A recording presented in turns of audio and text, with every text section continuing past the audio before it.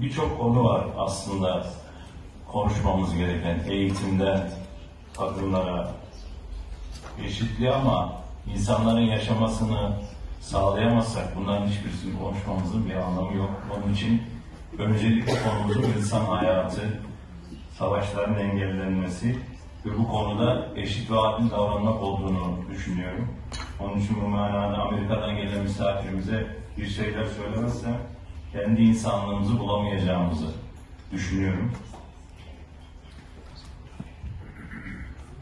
Biz dünyanın farklı yerlerinden yerel liderler olarak buradayız.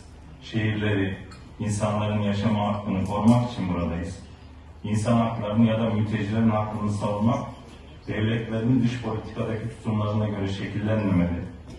Bizler insanlık adına söz almalı ve dünyanın her yerinde acı çeken insanların sesi olmalıyız.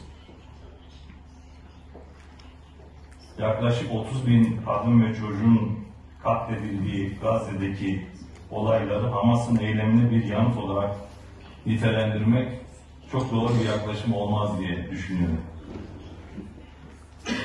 Kadın haklarından bahsettik. Mina Hanım'dan bir kadın olarak, bir anne olarak ya da bir anne adayı olarak Uluslararası Adalet Divanı'na verilen dosyadaki fotoğraflara bakmasını istirham ediyorum.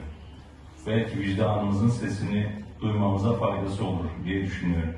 Önce insanlık, önce insanların yaşam hakkını korumak en önemli görevimiz.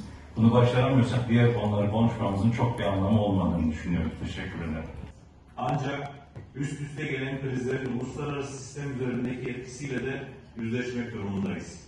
Dünya Belediyeler Birliği yıl sonu toplantısı için bir günlüğüne Barcelona'dayız. Burada özellikle Filistinli kardeşlerimizle ilgili destek mesajları ifade ettik. Uluslararası Adalet Divanı'nın Gazze konusunda aldığı kararı desteklediğimizi, takip olacağımızı ve bundan sonra Filistinli kardeşlerimizin yanında olmaya devam ettiğimizi, Gazze konusunu her daim gündemde tutacağımızı buradan bir kez daha ifade etme imkanımız oldu. Bir an önce barışın ortaya çıkmasını temenni ediyorum.